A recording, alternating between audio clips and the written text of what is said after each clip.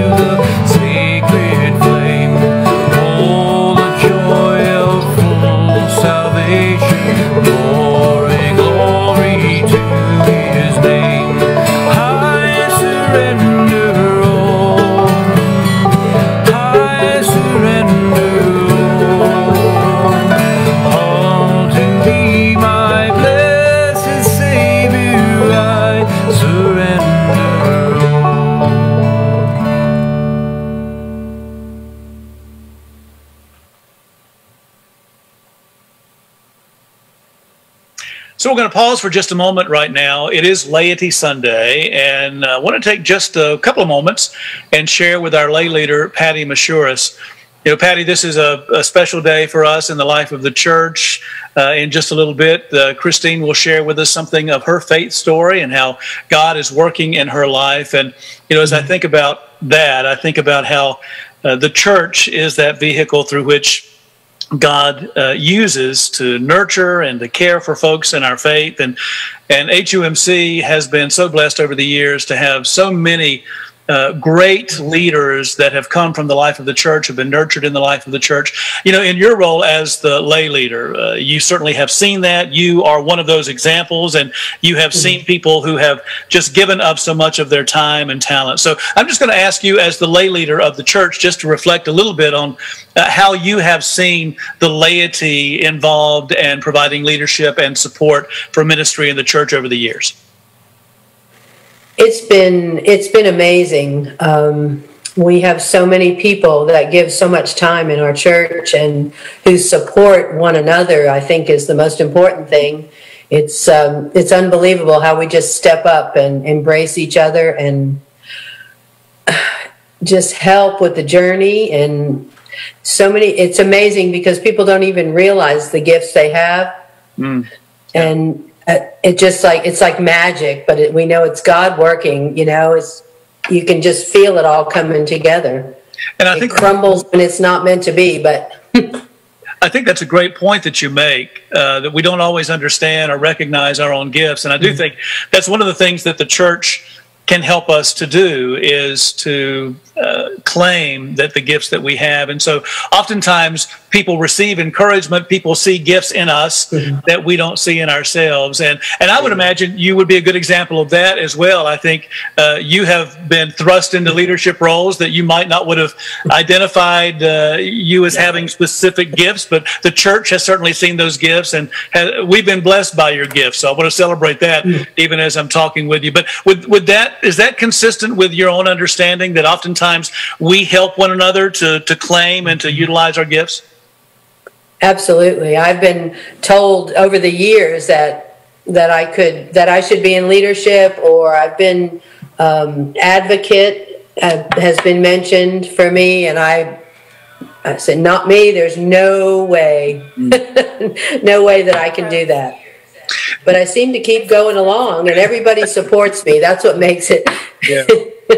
yeah, and you've mentioned support a couple of times, and I think that's a and that's kind of a great place to maybe bring this to a close. Our brief conversation yeah. on this Laity Sunday. Uh, you certainly have named experiencing that and seeing that, and, and being, uh, you know, I would name you as a vehicle for that support as mm-hmm. well. Mm-hmm. And so, as we celebrate the laity on this Laity Sunday, maybe that's a, a good thing for us all to reflect upon how we have been supported in ministry and how God can use us to be a support for one another. Is that a good place to end? Mm-hmm that's a great place to end. I mean, we could probably go on forever, but because of the, you know, it's just amazing the people and their gifts in our community of faith. But um, yes, I think that's perfect. And I support Christine. I know we all do 100%. So that's a, it's just such a joyful and blessed time. Absolutely. Mm-hmm. we'll look forward to her reflections and her sermon uh, that she'll be preaching for us and sharing with us here in just a little bit in our worship service. And so, just a, a final word, Patty, thank you for being an effective mm-hmm. and faithful and supportive lay leader at Highlands United Methodist Church. We all appreciate you. Thank you for giving me the opportunity. I have enjoyed it so much.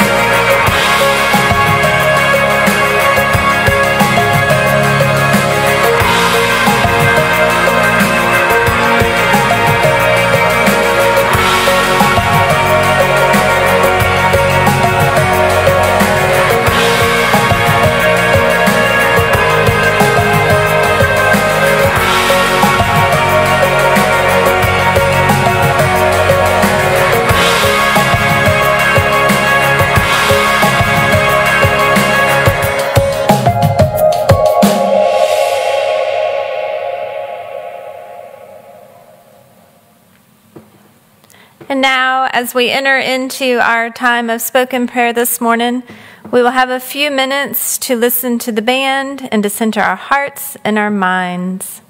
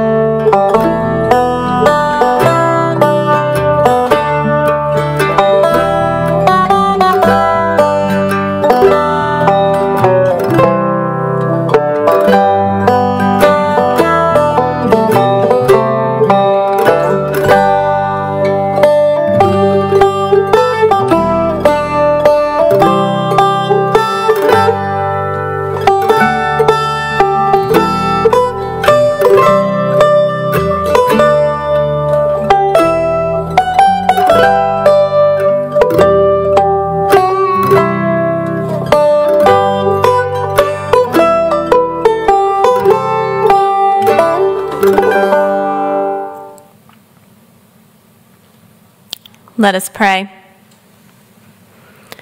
Lord, we come together today to worship with thanksgiving and praise. Many of us have come to this place with burdens, seeking your healing. Other has, others have come with joys, celebrating the goodness and blessings that abound. Each one is welcome here. We know that there is much work to be done in this world injustice, greed, isolation, alienation, they all exist when we have forgotten to be your people of peace. Help us to remember to be faithfully working for you in all that we do. You have placed your imprint on us and challenged us to be your people in thought, word, and deed. We come to you today concerned about so many of our friends, our brothers and sisters in Christ, who are afflicted with illnesses of many kind, who mourn, who feel lost and alone and wonder where you are. We raise their names before you in prayer that your healing love may be poured on them. We ask prayers today for Michael, Peter, Tyler, Evelyn, Lynn, Craig, Anne, Agnes, Jeff, Kenneth, Tommy, Thomas, Missy, Julie, Jill, Zane. Lord, we know that you hear and respond to our prayers for these dear ones. Likewise, likewise, gracious God, we shout with joy at the many blessings that have been poured into our lives and into the lives of our family and friends. Our hearts rejoice at the delight they feel Help us to understand that these blessings are your wondrous gifts of joy for each one of us. We thank you for all these blessings. Help us to bring words of healing and hope to all we meet. Now, let us join together in the prayer that Jesus taught us all to say Our Father, who art in heaven, hallowed be thy name. Thy kingdom come, thy will be done, on earth as it is in heaven. Give us this day our daily bread, and forgive us our trespasses, as we forgive those who trespass against us. And lead us not into temptation, but deliver us from evil. For thine is the kingdom, and the power, and the glory forever. Amen. Thank you, Christine. We move into our joy time now. And I would remind you that one of the real blessings for us has been able to uh, share pictures and even selfie videos when you've been game for that. So I would remind you if you have a picture that you'd like for us to share in our worship service next week, just send those in to Sonia. Try to get those in by Wednesday. That's really very helpful for us. But we thank you for sharing. Uh, we do want to celebrate birthdays and anniversaries. We have happy anniversaries coming up this week. So a very special happy anniversary to our couples who are celebrating anniversaries, and a happy birthday wish to all of our folks who are celebrating birthdays uh, today. We have a couple today. I Curtis and Kristen, and happy birthday to everybody who will be celebrating a birthday in these coming days. We do have a couple of pictures I want to share. Look at those ducks. Uh, Don Germano uh, sent us a couple of pictures today that we can celebrate uh, just a beautiful nature scene there. And also, there are some pink mums that Don shared with us as well. So we are grateful for those beautiful pictures uh, today. I would also remind you that we're continuing to partner with our local fire department here in Highlands. If you have some items you can drop by for hurricane relief, this is an ongoing work. You see the items that are needed there. If you have a question, uh, please just see Christy Lewis. She'll be glad to help you with that. But we thank you for your support of that very important effort. We do continue to have our outdoor worship services. We uh, will have a, had our service at 8:30 this morning in the back parking lot. We'll be out there at 11 o'clock here in just a little bit. We also have our front lawn chats and our morning prayers that are available. Sign-ups are helpful, uh, so we just encourage you to take a look at our HUMC News or also the website where you can sign up for those outdoor opportunities.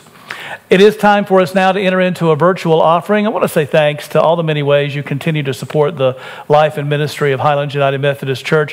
Whether you put a check in the mail or you drop it by the front porch where our rocking chairs are and put it in the little black mailbox, or whether you give online. Giving online is really very easy. We'll enter into that online giving portion right now. You can go to our website and you see that you are easily guided to our giving site. So we're going to take a pause right now while Sherry plays for us and enter into a time of virtual offering right now.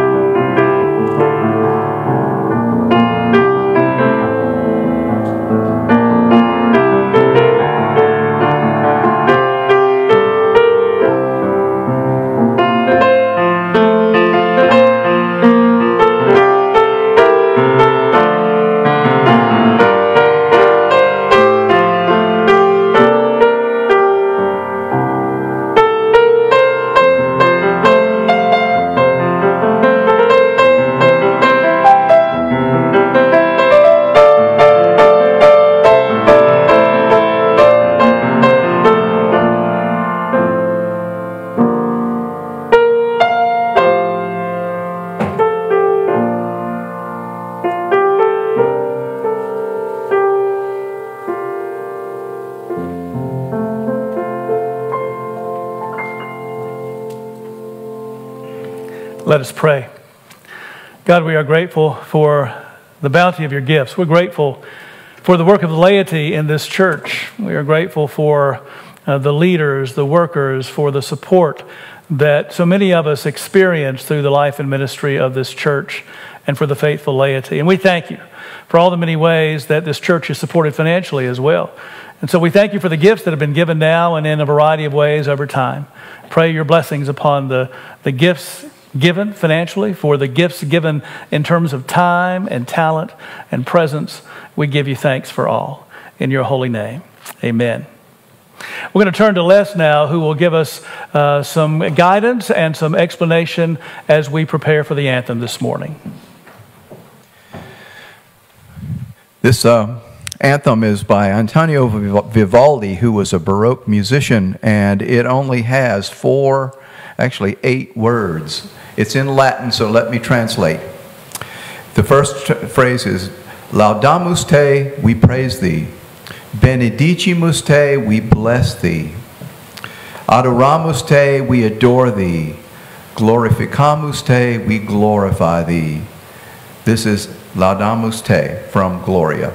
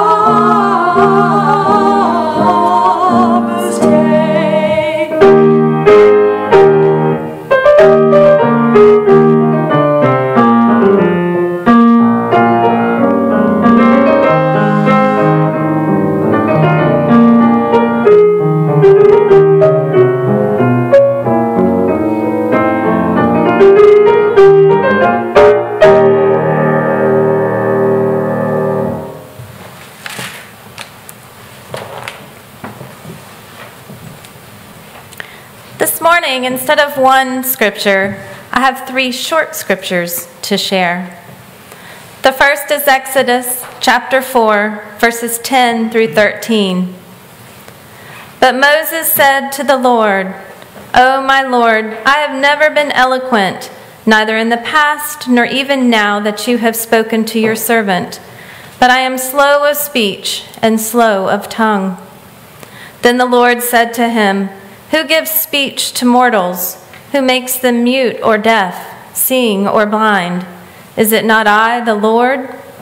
Now go, and I will be with your mouth and teach you what you are to speak. But Moses said, O oh, my Lord, please send someone else. Second reading is from 1 Samuel chapter 3 verses 7 through 10. Now Samuel did not yet know the Lord, and the word of the Lord had not yet been revealed to him. The Lord called Samuel again, a third time. And he got up and went to Eli and said, Here I am, for you called me. Then Eli perceived that the Lord was calling the boy. Therefore Eli said to Samuel, Go, lie down, and if he calls you, you shall say, Speak, for your servant is listening. So Samuel went and lay down in his place. Now the Lord came and stood there, calling as before, Samuel, Samuel. And Samuel said, Speak, Lord, for your servant is listening. And the last reading is from Esther, chapter 4, verses 13 through 16. Mordecai told them to reply to Esther Do not think that in the king's palace you will escape any more than all the other Jews. For if you keep silence at such a time as this, relief and deliverance will rise for the Jews from another quarter, but you and your father's family will perish. Who knows? Perhaps you have come to royal dignity for just such a time as this.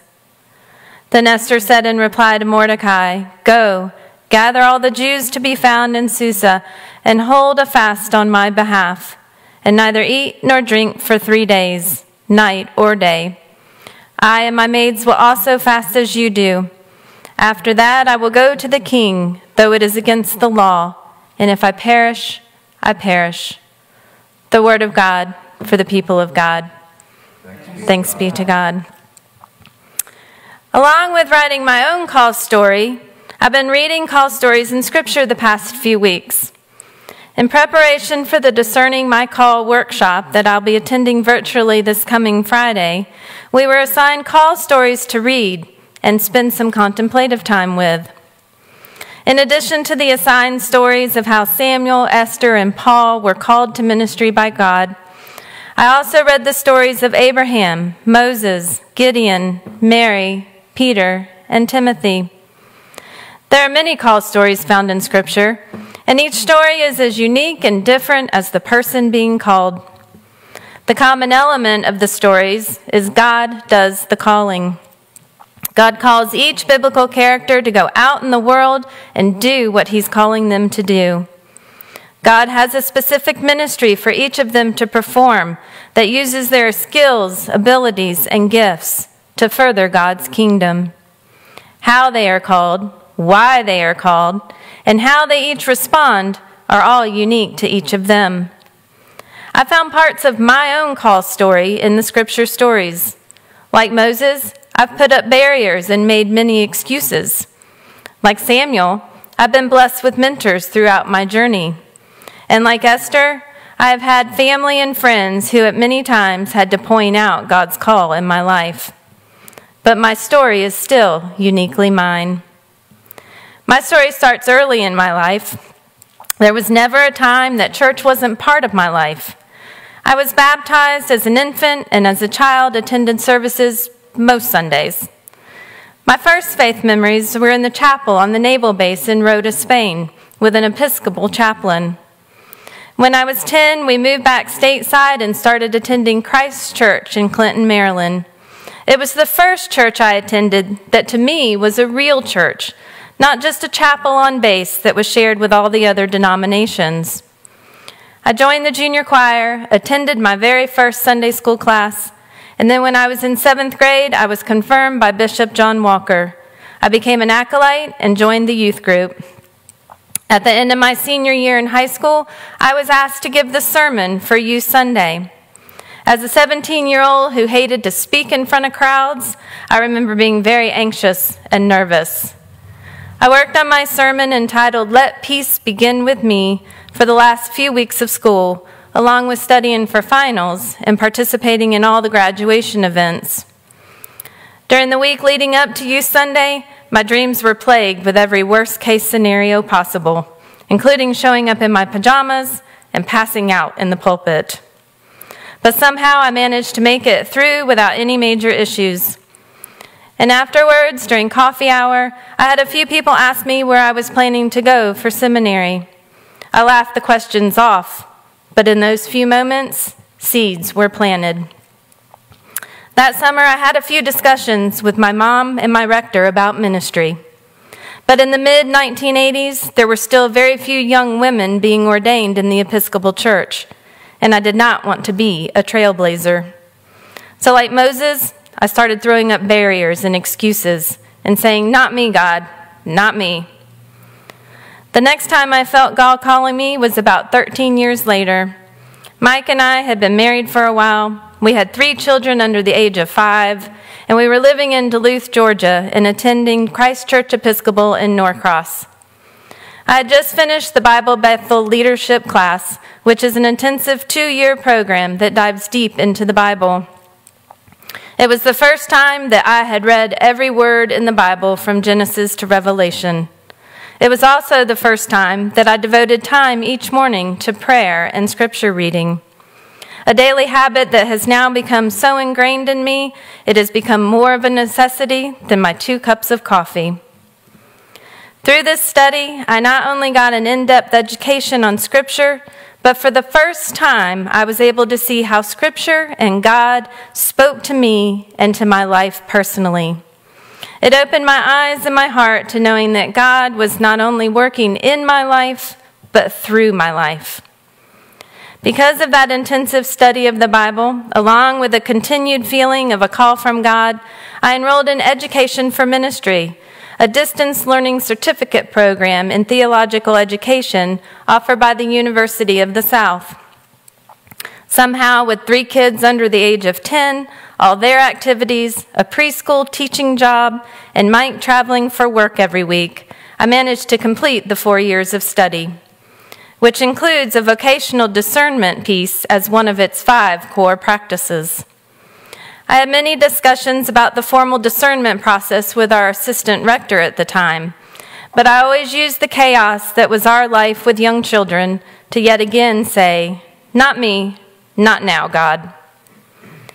After moving here to Highlands in 2005 and attending the Episcopal Church for a while, we made our way down Main Street and started attending here at HUMC. As we attended the 909 service, got involved in the life of the church, became professing members, and started volunteering with the youth and children programs, I once again had that feeling of a constant calling nagging at me. When the Director of Children and Youth Ministries position came open at the end of 2017, after much prayer and discussion with Mike, Jennifer, and Randy, I took a leap and applied. After many years of making excuses, saying, not me, not now, and putting God off, I was finally entering a field of ministry. I've had many opportunities to step outside of my youth and children box during the past three years. I've grown not only in my skills, abilities, and gifts, but also in my faith. I found myself not, not only saying yes to opportunities like giving sermons, visiting parishioners, assisting in worship, and representing the church in the community, but thoroughly enjoying these parts of ministry which were not in my original job description. Even with all my current duties, responsibilities, and work as Director of Children and Youth, I still feel I'm being called to be more, to do more, and to minister more within the church. During the spring months, a spring when everything was canceled, and I found myself with a little more time to myself, more time each day for devotion, prayer, and to just be still and hear God's voice within my heart. I finally found myself saying, Here I am, Lord. Speak, for your servant is listening. I found myself out of excuses, out of barriers, and ready to finally answer God's true call for my life. Over the last year or so, Randy and I have had a few discussions about discerning and answering my call. And in July, we sat down together and discussed the discernment journey to being certified as a local pastor. I started on that journey in September. I filled out lots of paperwork for the conference, met with our district superintendent, and have been pre- prepping for the discernment workshop this week. I still have mentor group meetings, SPRC meetings, charge conference, and eventually a meeting with the District Committee on Ordained Ministry on this journey. I don't know where this journey will take me. The discernment process I have learned is a journey that never ends. I do know that for the first time in my adult life, I'm really listening to what God is calling me to do. My eyes and hearts are open to wherever the journey takes me, and I'm at peace and looking forward to it. I'm excited to be expanding my ministry and pray that on this journey, I will be able to live fully into Jesus' commission in Matthew's gospel to go and make disciples of all nations, baptizing them in the name of Father, Son, and the Holy Spirit, and teaching them to obey everything that Jesus commanded us. I have many people who have walked alongside me already on this long journey family, friends, and clergy who have listened to me, guided me, loved me, and most importantly, prayed for me. This morning, I ask that each of you keep me in your daily prayers as this journey continues. This past summer, I came across a prayer which I have continually used as I have gone through the discernment process. Would you please pray with me now? O oh Lord, my Heavenly Father, I praise your holy name. I pray for your will to be done in my life and in this world, for your way to rule here on earth as it does in heaven. I am not in control, Lord. You are, even though that's often hard for me to admit and accept. I'm reali- realizing what comes next into your hands, O Lord and trusting you fully. I want you to step into whatever path you lay before me, even when it looks different from what I thought I wanted. For I know you have bigger plans for my life, so I submit my life to your will. I will trust and obey you with an eager and joyful heart. Father, your will be done on earth as it is in heaven. In the name of the Father, Son, and Holy Spirit. Amen. And now, will you join us at home with the closing hymn? I have decided to follow Jesus.